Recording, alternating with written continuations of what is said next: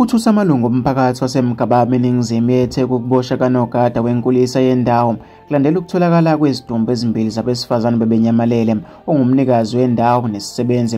Kubika ukuthi unkosazane Monica Xulo neminyaka we-81 ongumnikazi wenkulisa nonkosazane Zanele Mbuso neminyaka u-61 batholakala begqitshiwe emgodini ongashoni eduze kwayo kwinkulisa sekuphela amasonto amabili benyamalele bengaziwa.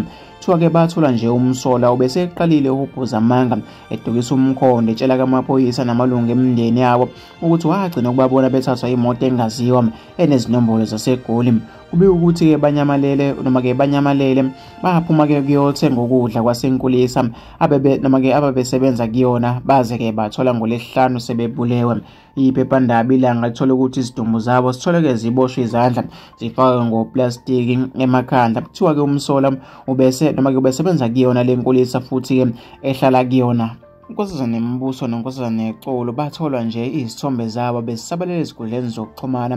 Imindeni icela ukufuniswa bona njengoba-ke bagcina ukubonakala bephila ngomhla ka-9 ku-agasti umnumzane menzi uxulo ngumzukulu kankosazane xulo uthi uninakhulu wakhe ubulawa nje ubeseke-ke wakuzwakalisa ukungenami kwakhe ngomsola ethi kunezinto-ke ezimlahleke noma-ke ezimlahlekelayo enkulisa uthi uninakhulu ubebuye-ke akhale ngokuthi umsola ufuna-ke amkhuphulele ihole ekubeni-ke wamthatha ethi uyamsiza ngoba-ke esele ndawo-ke eyokuhlala. Umsola wafika kule ndawo engenayo indawo yokuhlala ugogo wamzela wamqasha ukuba-ke asize.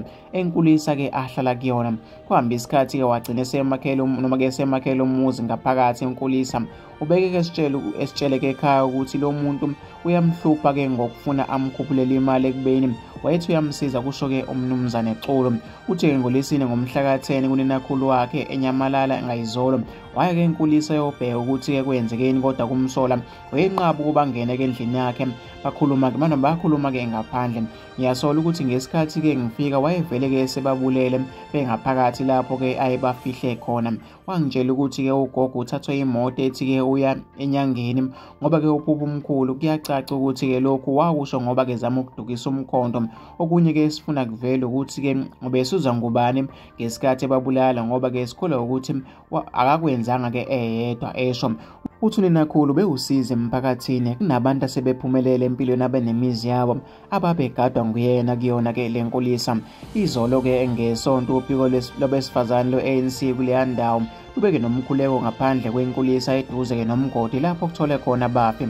Unkosazane don godeni okhulumela-ke umndeni wakwambuso uphinde asebenzele inkampani ezimele yabatakuli-ke ebeyingxenye noma-ke yokuthungatha kwalaba. Uthe umndeni ubhekene nesimo-ke esinzima ngento-ke ebehlele uthi-ke phambilini imindeni ibiyazi ukuthi-ke laba-ke bathathwa noma-ke imoto ngosuku abagcina ukubonakala ngayo. Uthi umsola kosebenza nabo ushaqwe ngamaphoyisa futhi nguyena obedukisa umkhondo owatshela amaphoyisa ukuthi-ke bathathwa imoto engaziwa watshela amaphoyisa ukuthi laba-ke bahambe beyothenga ukudla. Kwasenkulisa babuya-ke noma-ke babuya bakushiya-ke babeke sebethathwa imoto engaziwa. Bathi-ke baya enyangeni ekwamakhutha. Emva noma-ke emva kokuthola-ke le mniningwane babeke sekubhekwa yonke indawo okubala kuyona-ke kwamakhutha kodwa-ke bangathola noma-ke bangatholakala. Uphenyo lwamaphoyisa lahambe lwaze lafika-ke enkulisa abebesebenza kuyona. Amaphoyisa afike-ke nezinja okuyizona ezigcine-ke zithola lapho begqetshwe khona. Ababi noma-ke bobabili emgodini-ke owodwa sola ukuthi-ke babulawa-ke ngokuncisha umoya kusho yena. Uchaza unkosazane mbuso njengomuntu-ke obesebenzela-ke umndeni wakhe. Futhi-ke ewuthanda. Uthi ingakho-ke kusolisile nakuwona uma-ke ehambe engabuye ekhaya ngoba-ke ubeqinisekisa ukuthi-ke uyaxhumana nezingane zakhe uma kukhona lapho-ke azoya khona. Okwamanje sinalo kulwazi lwembangela yokubulawa kwabo. Ukhona-ke osathathwa ngamaphoyisa sikholele ekutheni-ke obenza lokhu-ke obengeyedwa.